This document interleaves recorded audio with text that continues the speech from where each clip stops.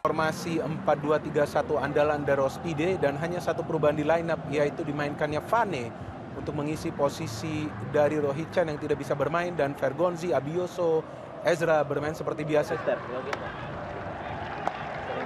Ya, toss coin juga sudah dilakukan pemirsa. Alexandro seperti biasa dipertahankan di depan, ada juga Armando Oropa dan di belakang seperti biasa ada Velasquez, Fabiano dan kali ini ditemani juga oleh Jamie yang merupakan salah satu perubahan lainnya di lineup dan Persik Kediri tidak terkalahkan dalam lima pertandingan terakhir mereka ya. Coba untuk menunjukkan tarian dan Kelly Royer kembali dalam posisi. Coba untuk mulai bergerak dia. Crossing! Oh, bahaya ini. Ada Uap Mabin yang mengambil bola liar. Uap Mabin kembali crossing tapi tidak berhasil. Apakah terkena hand? Oh, oh Eli Eboy ini ya langsung menganggap bahwa ada situasi handsball rupanya yang tadi terjadi.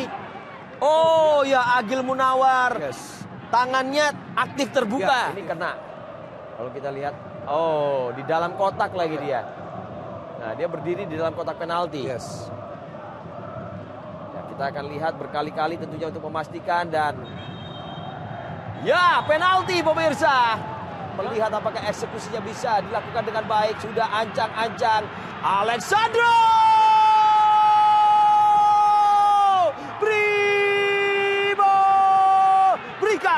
Semangatmu.